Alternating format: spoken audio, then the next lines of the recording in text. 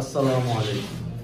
আচ্ছা আমাদের আজকে ক্লাস হচ্ছে আর্থিক বিবরণী বিশ্লেষণের উপর এটার উপর আজকে সেকেন্ড ক্লাস ফার্স্ট ক্লাস আমার আগেই দেওয়া ছিল সেখানে আমরা তিনটা সূত্র নিয়ে আলোচনা করেছি।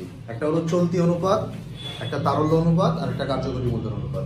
Today's class is going to be held on two new formulas number one is মোট মুনাফা অনুপাত নাম্বার টু ইজ নিট মুনাফা অনুপাত। তাহলে দেখাই হ্যাঁ? উদ্দীপক একটা বোর্ডে দেওয়া আছে। মনে করো এখান থেকে আমাদেরকে বলছে, মোট মুনাফা অনুপাত নির্ণয় করো। হাফিজ, কি অনুপাত? মোট মুনাফা অনুপাত। তাহলে মোট মুনাফা অনুপাত নির্ণয় করতে গেলে দেখো আমরা কি লিখব? লিখব যে আমরা জানি মোট মুনাফা অনুপাত, মোট মুনাফা বের করতে বলে নাই। মোট মুনাফা অনুপাত বের করতে বলছে।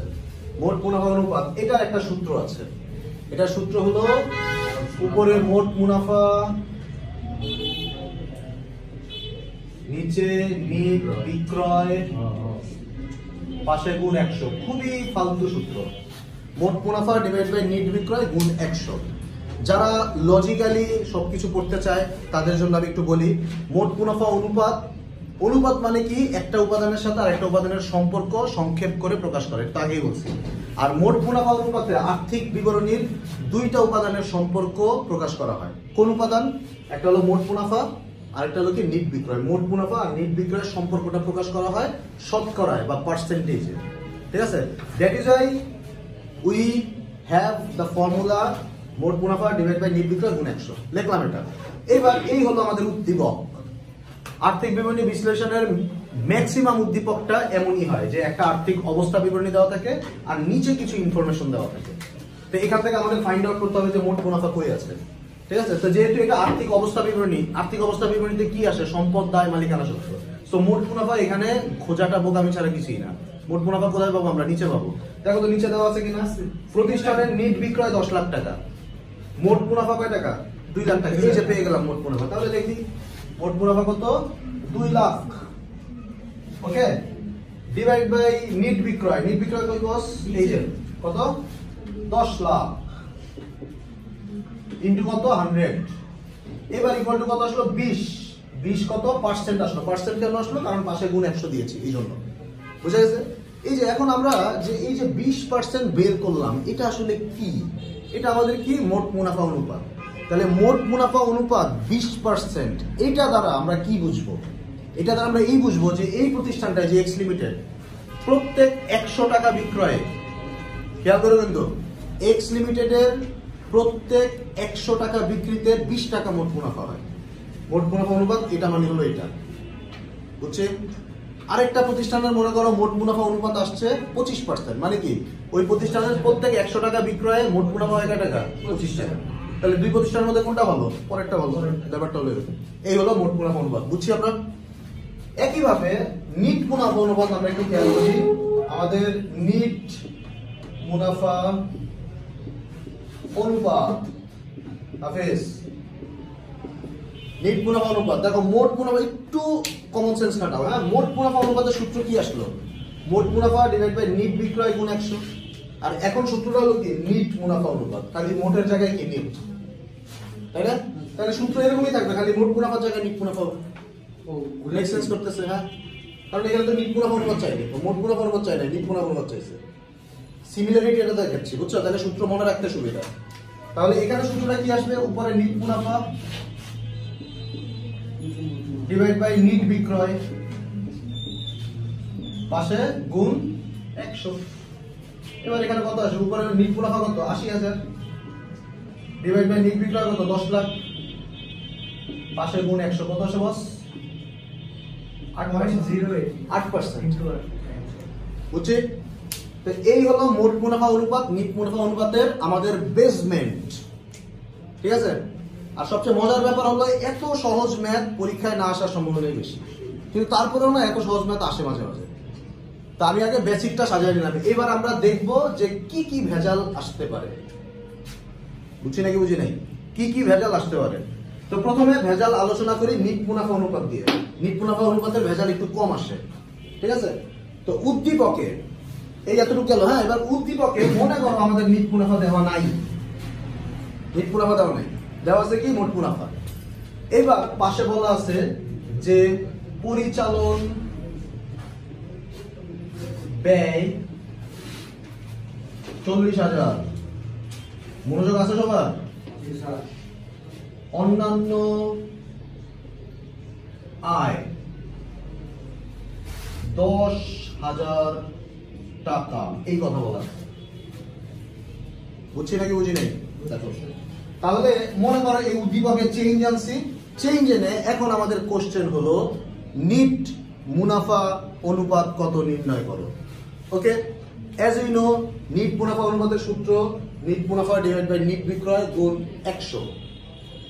না বেশ অবাক হচ্ছে কেন তুমি? ঠিক আছে? এবার নিট বিক্রয় আমাদের কত? দশ লাখ। তাহলে লিখলাম দশ লাখ। এইবার প্রবলেম হলো নিট মুনাফা নিয়ে। নিট মুনাফা এই ঘোড়ার ডিম তো দেওয়া নেই। দেওয়া আছে? এখন একটু ভেজাল হয়ে গেল। তাহলে আমরা চিন্তা করি আমরা মাত্রই গত ক্লাসে আর্থিক বিবরণীর একটা বিশাল যাত্রা শেষ করছি।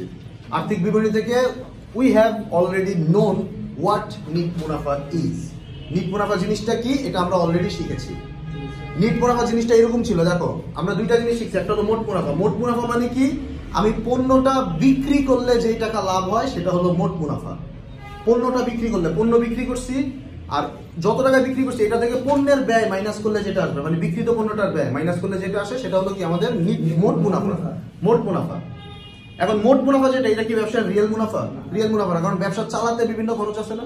ওই মোট মুনাফা থেকে ব্যবসা চালানোর খরচ মানে পরিচালন ব্যয়, যেগুলো আছে, এগুলো আমরা কি করব? মাইনাস করব। ঠিক আছে? তারপরেও ব্যবসায় কিছু অপরিচালন আয় থাকে, বা অন্যান্য আয় থাকে। আয় হলে ব্যবসায় লাভ বাড়ে না কমে? বাড়ে। অপরিচালন আয় বা অন্যান্য আয় যোগ করব। আর কিছু অপরিচালন ব্যয় আছে। দুই, তিনটা আলোচনা করছিলাম, অপরিচালন ব্যয়। ওগুলোর জন্য ব্যবসায় লাভ বাড়বে না, কমবে? কমবে। সেটা আমরা কি করব? বিয়োগ করব। So what is the actual procedure to determine net মুনাফা ফ্রম মোট মুনাফা? দ্যাট ইজ মোট মুনাফার সাথে আমরা পরিচালন ব্যয় করব বিয়োগ। মুখস্থ যাবে না, বুঝেই তো যাচ্ছে। মোট মুনাফা আসলো।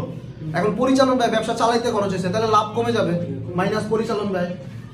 তারপরে যোগ অপরিচালনায় মানে কিছু আয় হয়ে গেছে তাহলে আমাদের নিট লাভ কি বেড়ে যাবে? ওইটা হবে যোগ। আর কিছু অপরিচালন ব্যয় মানে ওই ব্যয় দিয়ে ব্যবসা পরিচালিত হয় না কিন্তু ওই ব্যয় দেওয়া লাগতেছে। ওইটার জন্য ব্যবসার লাভ কি হবে? কমে যাবে। ওইটা বিয়োগ করে আমরা কি আসবে? নিট মুনাফা আসবে। তো এখানে আমরা সেটাই করি দেখো। আমাদের এখানে মোট মুনাফা দেওয়া আছে দুই লাখ। ঠিক আছে? পরিচালন ব্যয় দেওয়া আছে চল্লিশ হাজার। পরিচালন ব্যয়ের জন্য ব্যবসার লাভ বাড়বে নাকি কমবে? কমবে। So it would be minus less ঠিক আছে? তাহলে দুই লাখ মাইনাস চল্লিশ হাজার তাহলে কত? এক লাখ ষাট হাজার। আর অন্যান্য আয় কিছু অন্যান্য আয় আছে বিক্রয় ছাড়া। আয় এটার জন্য ব্যবসার লাভ কমবে না বাড়বে। বাড়বে। তাহলে এই দশ হাজার হবে কি যোগ? তাহলে এক লাখ সত্তর হাজার টাকা নিট মুনাফা। বুঝতেছি নাকি বুঝি নাই? নিট মুনাফা দেওয়া নাই so what we know how to determine net মুনাফা। এবার আমরা বের করে নিলাম। তো এই ব্যাপারটা আমরা কেমনে দেখাবো? আমরা একটু রাফ করতে পারি। দেখো রাফ আমি দেখাচ্ছি। রাফে আমরা লিখলাম যে নিট মুনাফা ইকুয়ালস টু মোট মুনাফা আমাদের কত বস দুই লাখ। মাইনাস পরিচালন ব্যয়, চল্লিশ হাজার। যোগ অন্যান্য আয় কত? দশ হাজার। ইকুয়ালস টু এক লক্ষ সত্তর হাজার। তাহলে এখানে বসাই দিলাম এক লক্ষ সত্তর হাজার। বুঝছে এবার গুণ কত? একশো। ইকুয়াল টু সতেরো পার্সেন্ট বুঝছ? আর ইউ শিওর তাহলে এই গেল আমাদের নিট মুনাফা অনুপাত নিট মুনাফা অনুপাতের ভেজাল আর দরকার নেই। এবার প্র্যাকটিস করো ইনশাল্লাহ পারবা। বুঝছে এবার মোট মুনাফা অনুপাত এটা একটা ঝামেলা এটার সাথে অনেক ঝামেলা আছে। মোট মুনাফা অনুপাতে অনেক ঝামেলা আছে। মোট মুনাফা অনুপাত নিয়ে এখন আমরা একটু খেলাধুলা করব। ঝামেলা ঝামেলা ছাড়া জীবনে আনন্দ নেই। ঝামেলা নিতে হবে হ্যাঁ? খেয়াল করি আমরা। বি সিরিয়াস হ্যাঁ? এখন একটু ভেজাল্লা জিনিস আলোচনা করতেছি। তো আমি উদ্দীপকে একটু চেঞ্জেস আনলাম। একটু চেঞ্জেস এই।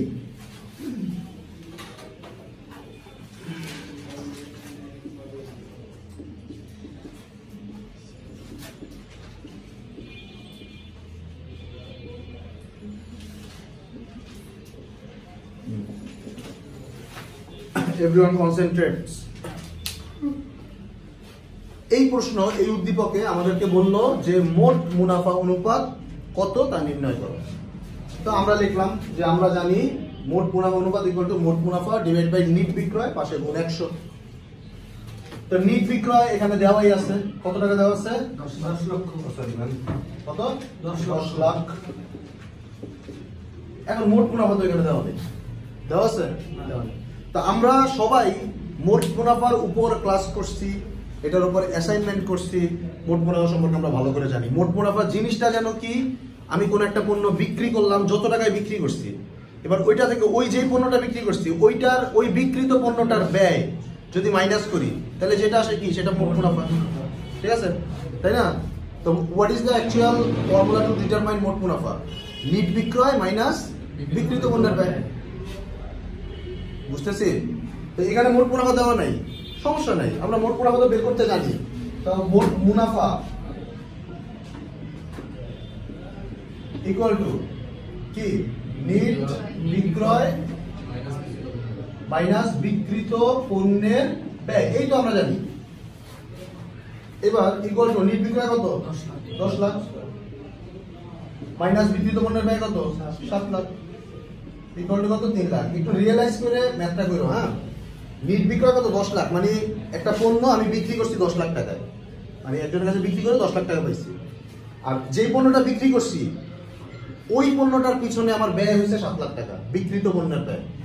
তাহলে আমার লাভ হলো কত? তিন লাখ টাকা। এই যে আমরা মোট মুনাফা বের করতে পারলাম। তাহলে এটা কত আসলো বস তিন লাখ। ইন্টু কত? একশো। ইকুয়াল টু তিরিশ পার্সেন্ট তাহলে আমরা মাত্র মোট মুনাফা নিয়ে কি ঝামেলা দেখলাম? মোট মুনাফা অনুপাত বের করতে বলছে, কিন্তু উদ্দীপকে মোট মুনাফা নাই। কিন্তু এই ঝামেলা আমাদেরকে দমিয়ে রাখতে পারল না। আমরা জানি কেমনে মোট মুনাফা বের করতে হয়, এরকম করে মোট মুনাফা আমরা বের করলাম বোঝা গেল? এটা হলো লেভেল টু এর মোট মুনাফা অনুপাত। লেভেল থ্রি আছে। বুঝছি নাকি বুঝি নাই? লেভেল থ্রি আছে। এখন লেভেল থ্রি নিয়ে আলোচনা করব। একটু আমরা সবাই খুব মনোযোগ দিব। এটা গেল হ্যাঁ? Level two. এটা আসে, এটা বোর্ডে ভালোই আসে। এবার আসি এর পরের ঝামেলায়। এবার একটু খেয়াল করি আমরা।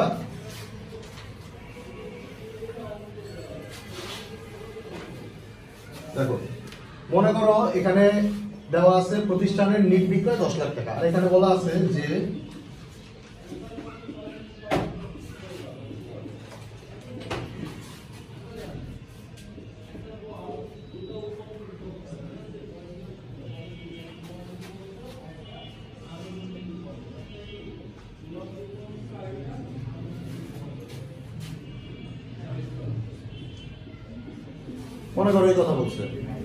ভেঙে চুরে করব, কোনো কিছু মুখস্থ করব না। আমি আমার ক্লাসে লজিক্যালি আলোচনা করব, মুখস্থ যাব না। ঠিক আছে? নিট বিক্রয় দশ লাখ টাকা। আর এই এই কথা বলা আছে, মনে করো আমাদের প্রশ্নে বলল, মোট মুনাফা অনুপাত নির্ণয় করো। এটাই হলো মোট মুনাফা অনুপাতের থার্ড লেভেলের ম্যাথ এটাই সবচেয়ে হাইস্ট কঠিন হ্যাঁ? বুঝলে আর কঠিন না, বুঝলে সহজ। তা আমরা জানি লিখলাম যে আমরা জানি মোট মুনাফা অনুপাত ইকুয়াল টু মোট মুনাফা ডিভাইড বাই নিট বিক্রয় গুণ একশো। তো নিট বিক্রয় আমরা জানি, নিট বিক্রয় কত? দশ লাখ। এখন মোট মুনাফা কত আমরা জানি না। ঠিক আছে? তো যদি আমাদের এখানে বিক্রিত পণ্যের ব্যয় দেওয়া থাকতো, তাহলে আমরা নির্বিক্রয় থেকে বিক্রিত পণ্যের ব্যয় মাইনাস করে মোট মুনাফা বের করতাম। কিন্তু ঘোড়ার দিন বিক্রিত পণ্যের ব্যয় তো দেওয়া নেই। বরং একটা অদ্ভুত হিন্টস দেওয়া আছে। শুনি, একটু মনোযোগ দিয়ে। বলছে, বিক্রিত পণ্যের ব্যয়ের উপর মানে যেই পণ্যটা বিক্রি করছি ওই পণ্যটা কয় টাকায় বিক্রি করছি? দশ লাখ টাকায়।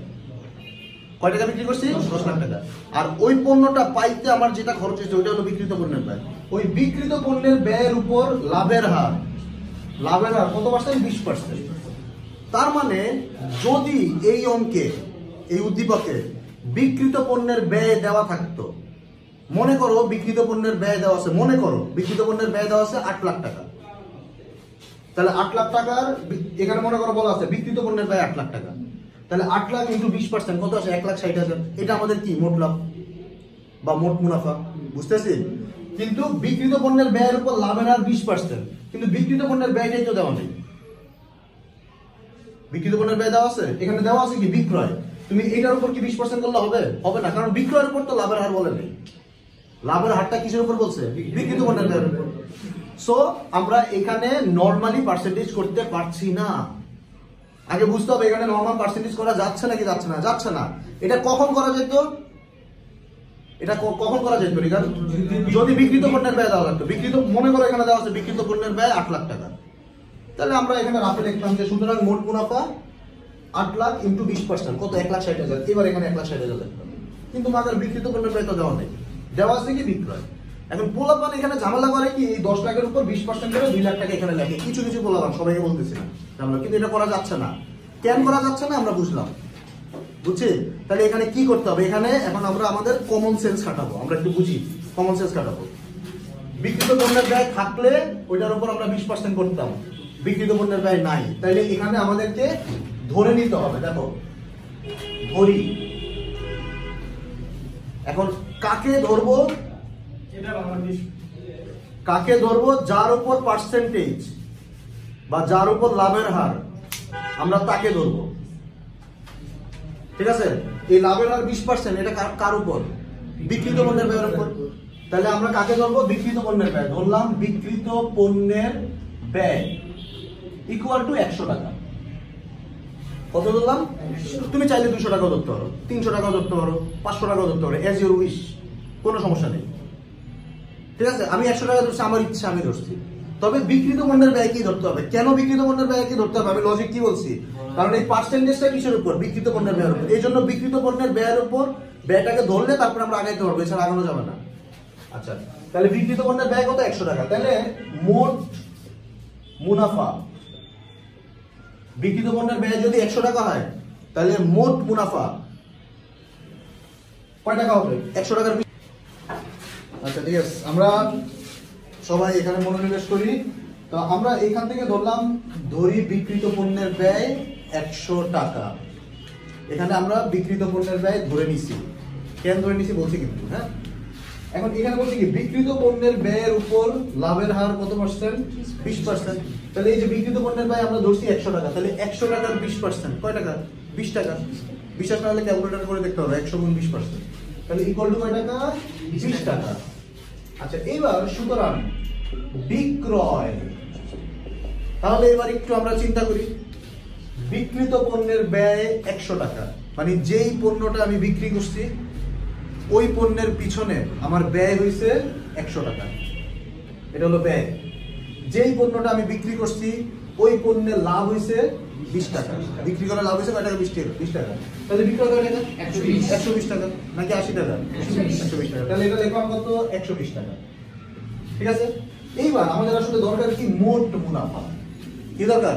মোট মুনাফা। এবার আমি ক্যালকুলেটর হাতে নিলাম। ক্যালকুলেটর হাতে নিয়ে এই যে আমরা এখানে বিক্রয় দেওয়া আছে কত? দশ লাখ। এই যে এটা হলো ক্যালকুলেটর মনে করো। ক্যালকুলেটরে লিখলাম সরি এই জায়গায় তো আবার একটা টিক করছে না। আচ্ছা ক্যালকুলেটরে লিখলাম কত? দশ লাখ। দশ লাখ। ঠিক আছে? এই দশ লাখ আমাদের কি? বিক্রয়। বিক্রয় এই যে বলা আছে নিট বিক্রয় কত? দশ লাখ।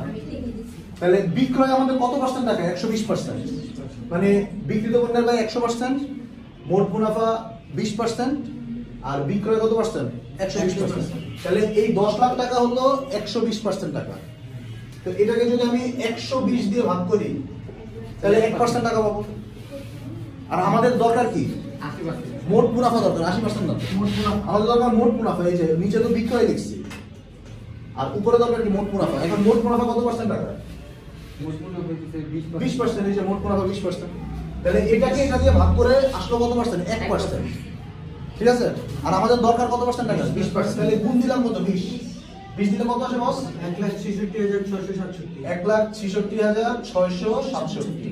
এটা আমাদের তাহলে কি? এটা আমাদের মোট মুনাফা মানে বিশ পার্সেন্ট টাকা এটা আমাদের, তার মানে মোট মুনাফা। এই যে আমরা মোট মুনাফা বসাই দিলাম, এক লাখ ছেষট্টি হাজার ছয়শো সাতষট্টি। ওকে এবার ক্যালকুলেশন করলে আসবে ষোলো দশমিক ছয় সাত পার্সেন্ট এই হলো আমাদের মোট মুনাফা অনুপাত। তাহলে মোট মুনাফা অনুপাতের আমরা ডাইমেনশন দেখলাম কয়টা? তিনটা। প্রথমে একদম নর্মাল তারপরে একদমই দেখলাম যে মোট মুনাফা দেওয়া নেই। সেক্ষেত্রে কীভাবে বের করতে হয়? নিট বিক্রয় থেকে বিক্রিত পণ্যের বাদ দিয়ে আমরা মোট মুনাফাটা বের করব। আর সবচেয়ে ঝামেলাযুক্ত সমস্যা হলো এই যে এইটা। এটার মধ্যে নিট বিক্রয় দেওয়া নেই, মোট মুনাফাও দেওয়া নেই। পার্সেন্টেজ দেওয়া আছে। পার্সেন্টেজের ক্ষেত্রে you have to think like this that is all about this to maths আলহামদুলিল্লাহ